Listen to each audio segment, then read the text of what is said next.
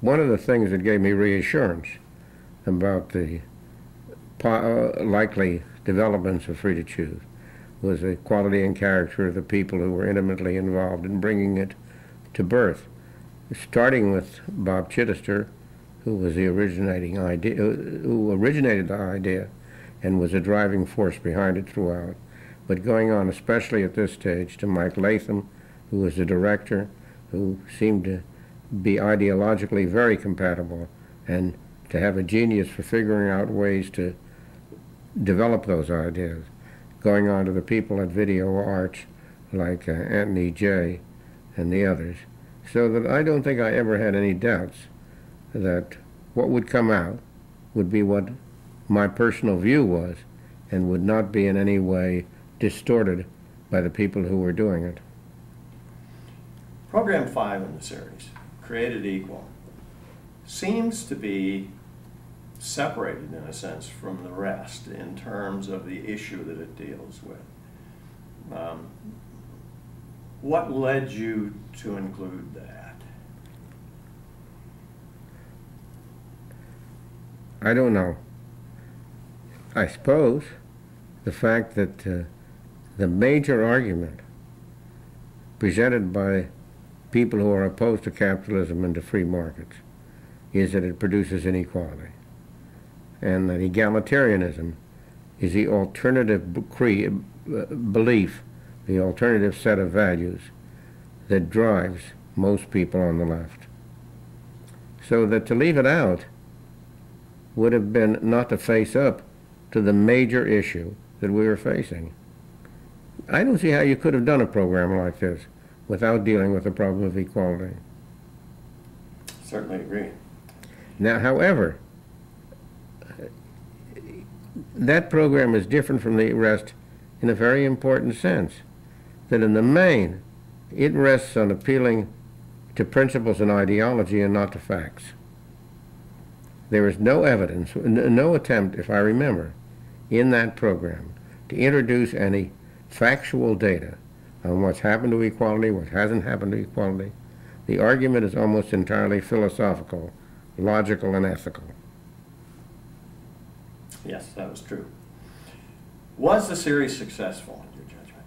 Oh, I think the series was enormously successful. It was successful in the sense that in uh, 1980, when it first appeared, it uh, had a what was a very large audience for PBS.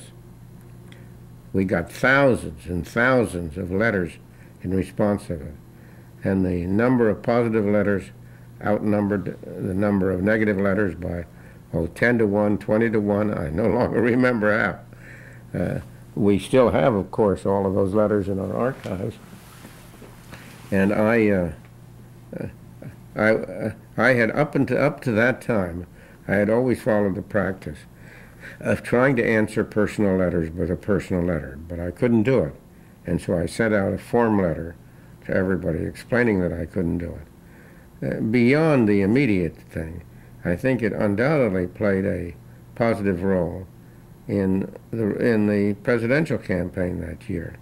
That was a year in which Reagan was running for president, although he won handily at the early stages of the year, it did not look that way at all.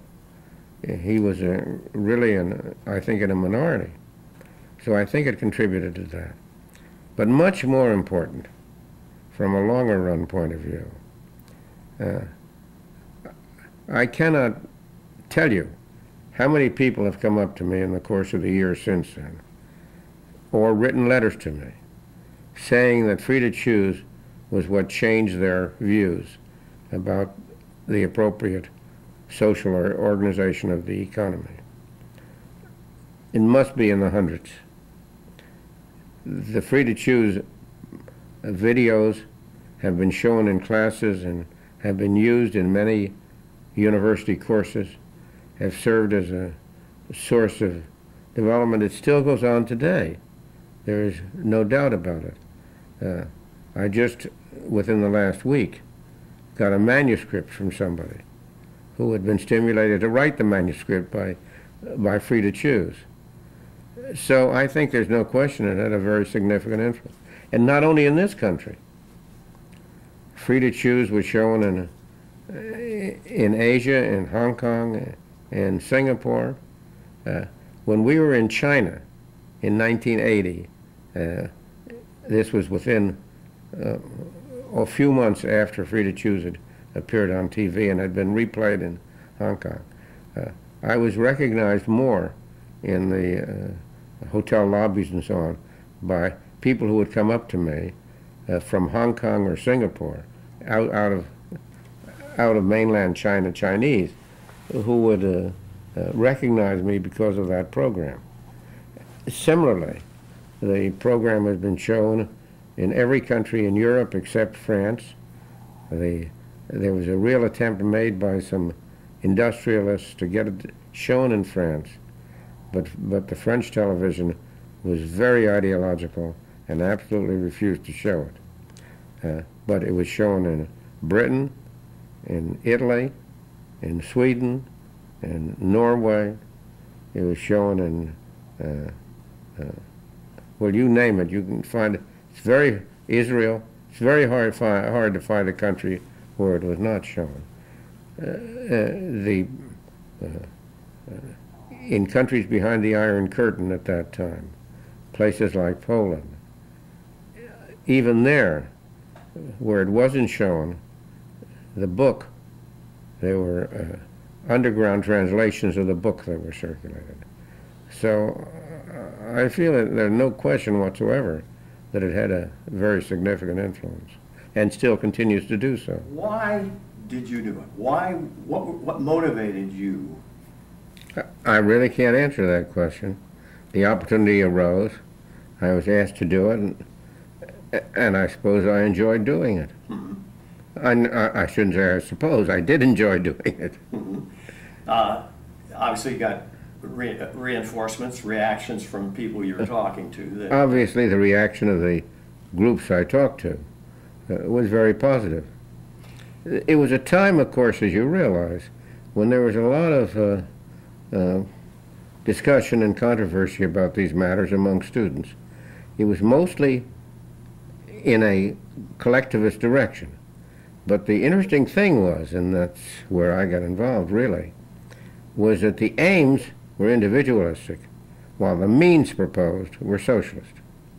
And so I would repeatedly, again and again, before one of these groups say, you and I have exactly the same objectives, but I know how to achieve them and you don't.